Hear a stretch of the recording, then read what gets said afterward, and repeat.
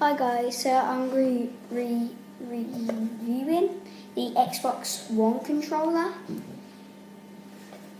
My dad bought it, it's over £100. It's really expensive. So, like, if you get that for Christmas, that'd be a really good surprise for you. And that's really cool. And here's the case that it comes in, and the box. Show inside of it. It's pretty cool. It's got an Xbox One sign on it. And let's open it and see the controller. So here it is. It's pretty good. It's got all the bits at the back. I can take them off, put back in, do whatever you want with it. And also, you can swap the bits for the controls like this. You can take them off changing onto a bigger size if you're big enough or um, if it's uncomfortable for you. You can also take this off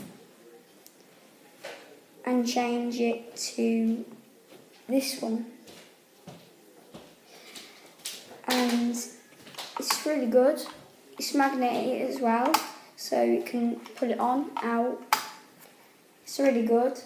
And I think should you really like it if your parents bought it, yeah, or if adults like it and all that type of stuff. It's really good as well. The controller, like you can get all these like Black Ops ones from all different um, companies. It's really good as well. I just really like the controller. It's got some good spray paints on it, and it's really cool. So you've got all the things like if you're playing racing games, you could just click them and it would change the gears for you. It'd be really good. So yeah, click a like and subscribe for more videos coming up soon. Thank you. Goodbye.